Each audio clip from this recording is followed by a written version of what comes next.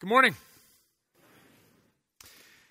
We are continuing our series on Pardon Our Mess today, having just last week opened the topic of a third expression of God's grace. If you've been with us for the majority of the series, you'll know that we've talked about grace a lot. We've talked about it in at least three ways there's prevenient grace, that is, that grace that comes before anything we can do or even before we're even aware that God is doing anything in our lives. Prevenient grace. And it leads us to a knowledge of justifying grace by which God sets us right even while we are yet sinners through the cross of Christ. Also, a grace that we have really nothing to do with. It's just something we learn about and respond to. But this third grace we began talking about last week sanctifying grace or holifying if you know what sanctus means, right? It means holy. Being, means being made into Christ's image, being made more and more holy, right? So to be sanctified is that unique interaction between our will, our choices in life, and God's power and willingness to transform us in ways that we never could. That's what led us last week to the practice that most fundamental skill of discipleship. Uh, you remember the juggling, uh, if you were here uh, is just kind of a zippy way of, of introducing the notion of practice, right? So, discipleship is also a skill that we practice, and the most fundamental practice begins with offering ourselves up as living, you guys remember? Sacrifices. And it was really, really moving to sit uh, here and watch everyone uh, who was here writing down, not just thinking about, not just talking, but making something happen offering to God something on a piece of paper that I know needs to die away.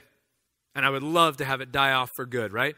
And we invited you to, uh, to put those in the offering plates if you chose. Uh, they were all anonymous, but we got, I don't even know, I didn't count, a stack like that.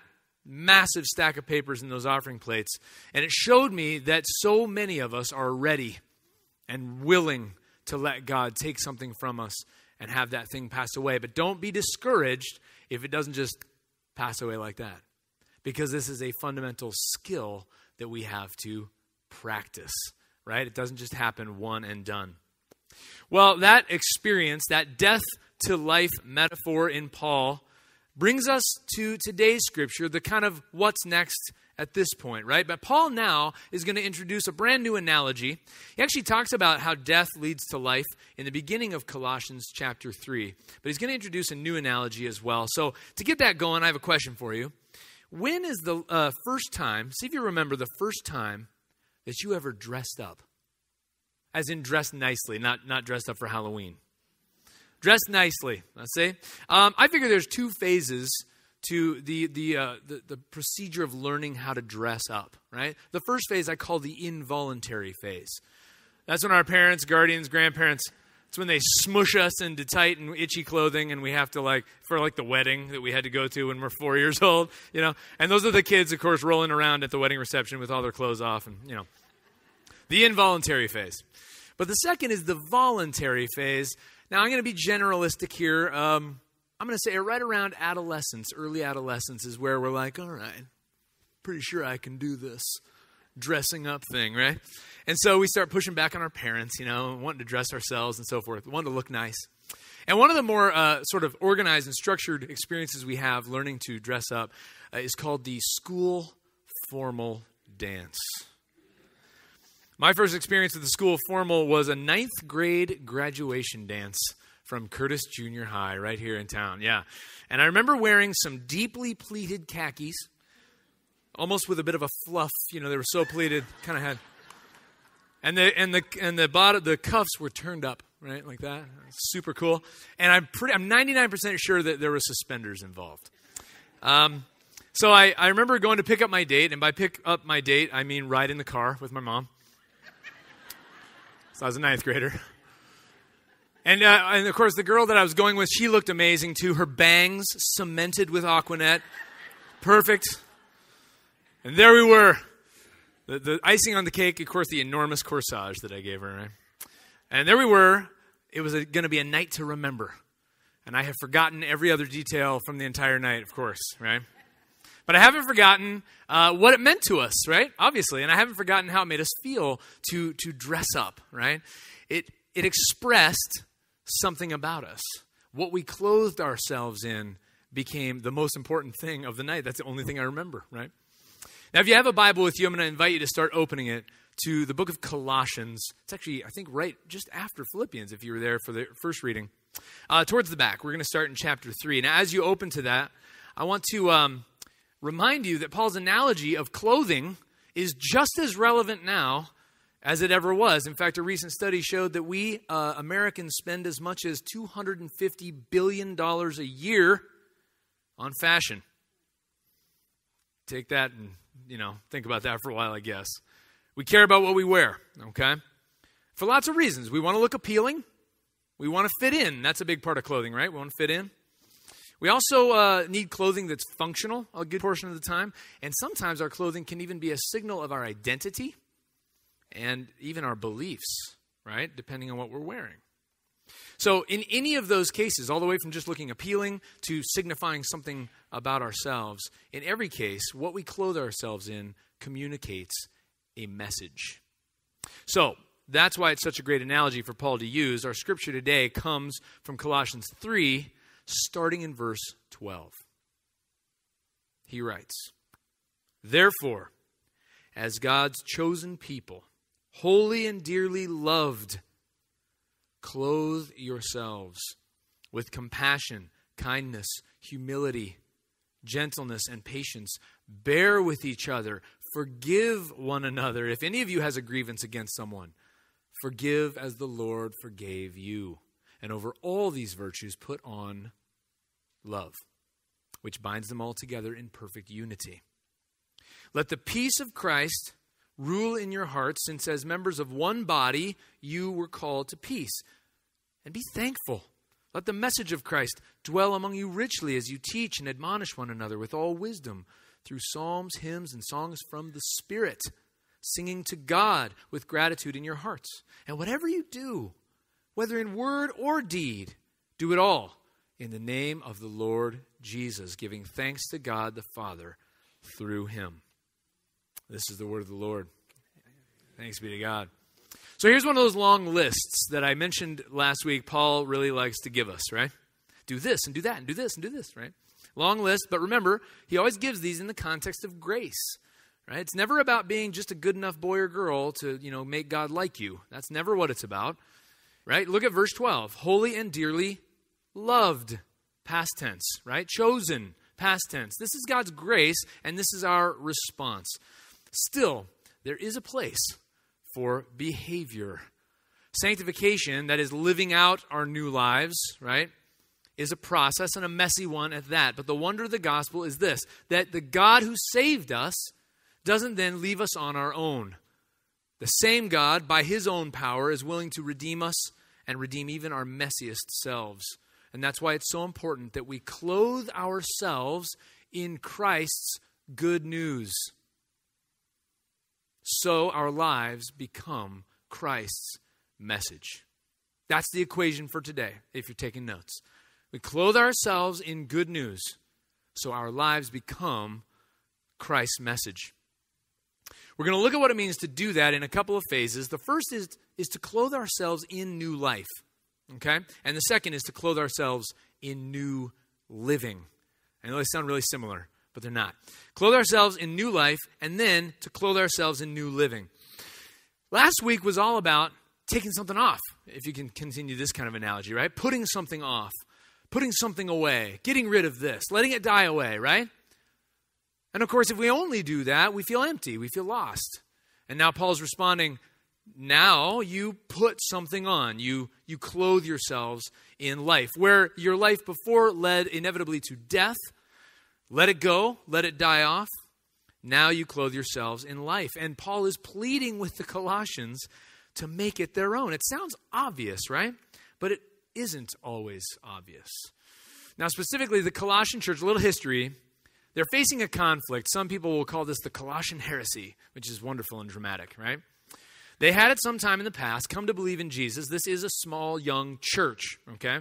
But since then, some alternative teachings have come along And they appear to be denying the grace of God by claiming that true spiritual fullness can only be achieved by means of some sort of legalistic or ritualistic religiosity. If you want to read more about it, you can read Colossians chapter 2, where you can hear Paul responding to some of the specifics. Now, there's always room for diverse points of view. There's lots of ways of living out the gospel, right? But this is a direct contradiction. This, this says that new life must be earned, right? And Paul is saying, no, you already accepted it by grace. It cannot be both. You cannot both give a gift and then charge a fee. It is either a gift or it is not. And that's what Paul is so adamantly trying to help them see. He thought they got it. I mean, even 20 years before this, Jesus, in his own words on the cross, said, Complete it if you know it, it is finished. And this is the message Paul would have brought. He thought they understood it, but now they're confused and it's creating conflict in the church. Now they appear to think that the new coat they were given by God in grace has been discarded and they're going to try to figure out how to put on their own. It actually made me think with the blustery weather and everything, and, and, and the fact that I've seen this play twice in the last six months, made me think of the musical Annie. If you know Annie, uh, in the middle of the Great Depression, Annie is an 11 year old orphan living in a New York City orphanage in the middle of winter.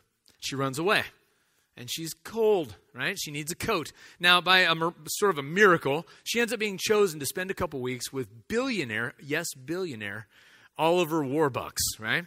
And the very first thing she gets in this experience with him is a brand new winter coat. And in the play, uh, his assistant even says she never takes it off. Annie even sleeps in her new winter coat. You can imagine how valuable it would be to a child in that situation. But imagine, imagine if Annie, having been given this coat, which she needed so desperately, which she needed to survive, and she never could have earned on her own. You guys see the parallel here. Am I making it pretty obvious? Imagine if she had just taken it off and said, you know what? And let it go. I'd rather be cold. This is what Paul is seeing in the Colossian church. What are you doing? I thought you I thought you put it on. Right? Just the other day, actually, Friday, I was picking uh, Sophia up from school, and I heard a mom walking out, uh, walk, uh, walking out with her son, and it was cold out. And she said, and I heard it, I couldn't believe the timing because I knew what I was going to preach on today. She says to her son, Why isn't your jacket on? As they walked away from the school, and I was like, Bingo. That's exactly what I'm talking about. And you can feel that in Paul, right? Even if you go back in chapter 3, in verse 3, you died, he says to them, past tense. You died to earthly things. You have taken off your old self, Colossians, and you've put on the new self. And now, what's gone wrong? What's happening? Where is it? Now, I actually have empathy with the Colossians in, in, a, in a particular way. That is, uh, anybody who's been following Jesus for any duration of time, and actually, not to necessarily even choose that, anybody who's heard of Jesus and the gospel, sometimes you may be challenged to think, why am I not experiencing the new life that Mike is like yelling at me about from the pulpit, right? Why am I not experiencing it? I'd love to put it on. How do I do it? Now, Paul doesn't really necessarily give us specific instructions on that point. He starts telling us what we're supposed to do once it's on, but how to put it on. And I have to go back to what we call the discipleship fundamentals here. You put it on every day through prayer and through Scripture through prayer and through Scripture, right? To stretch the garment metaphor until it tears at the seams. You're welcome. Uh, engaging in daily prayer and becoming fluent in Scripture are like taking the coat off the rack and putting it on your body before you leave the house. It's a private act, usually, although it could be in families or small groups. Prepares us to walk out the door and face the wintry weather of the world. Now, how we go about doing uh, uh, a prayer every day, how we go about reading scripture every day, that's a great conversation to have.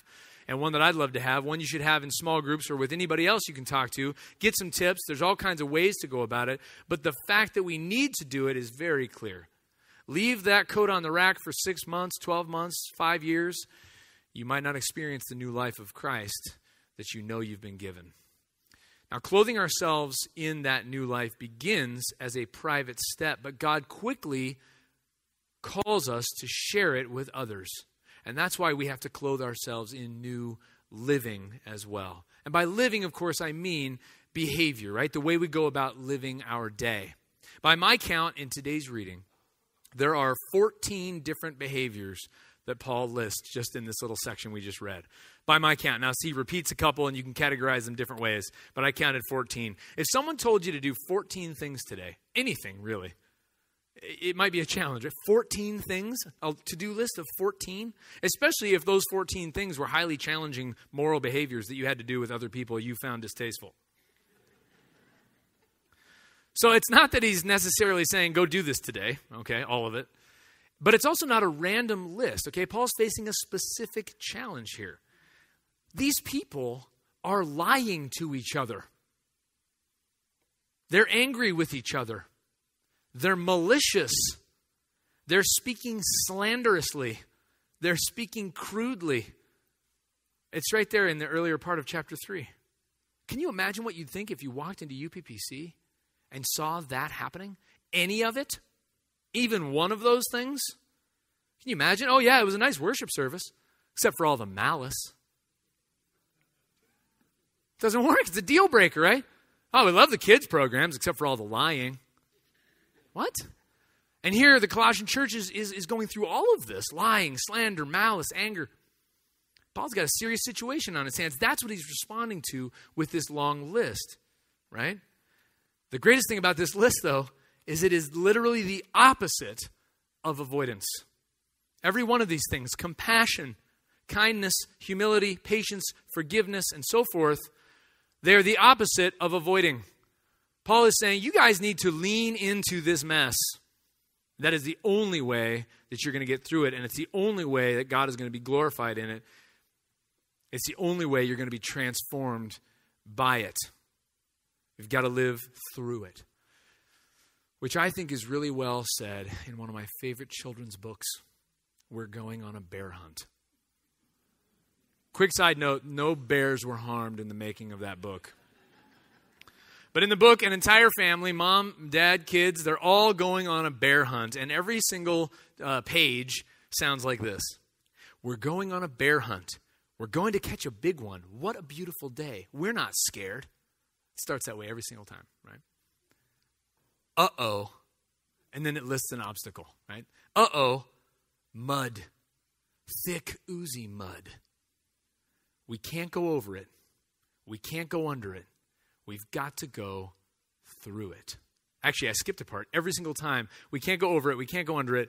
Oh no, it says. We've got to go through it. And then it's like squelch, squelch, squelch, squelch. You get to read out all the sound effects, right? Each chapter is the same, but the different obstacles snowstorm, big dark forest, things like that. And for each one, we can't go over it, we can't go under it. Oh no. Which I think is so honest. We've got to go through it. Now, most of us aren't going on a bear hunt today. But imagine applying this to the messiness of your life. Uh oh, a neighbor, a grumpy, grouchy neighbor. We can't go over him or her, we can't go under it. We've got to go through it. Uh oh, an annoying coworker. Uh oh, an upset spouse. Uh oh, parents who don't understand me. We can't go over, can't go under. We've got to go through. That's why Paul gives this long list of behaviors. It's not, again, not so that we can be just unnaughty enough. You can quote me on unnaughty. It's so that we can do what God did. It's so we can do what God did. See the mess and willingly enter it for the sake of transformation. God is a redeeming God. He will not lift us out. Jesus even prays in John 17. I do not pray that you would remove them from the world, he said, but that you would protect them from the evil one in the world. This is the Jesus who, being in very nature God, made himself nothing, humbled himself, becoming obedient to death, even death on a cross. Imagine how it felt from his point of view, in all of his perfection, to enter our mess. Uh oh, stubborn Pharisees. Uh oh, obtuse disciples, corrupt principalities and powers. Oh no, sin, death. we've got to go through it. And so he died to go through it. And so that each of us could live. And now, in that new life, go through it. And let God, by the power of his sanctifying grace, transform us until the completion in Christ. Let's pray. Heavenly Father, you are alive and you are present among us by the power of your Spirit. And you've given us a great calling, but not without first giving us grace. You always come before, you always give us what we need. You set us right with yourself, and even as you call us out to lean into the mess, to be agents of transformation in this world in your name, even as you call us to do it, you give us that great model in yourself, Lord Jesus, as you leaned into the mess, became part of it, and it's never been the same since. We ask for your power to do this as your church and your people in your holy name, Lord Jesus. Amen.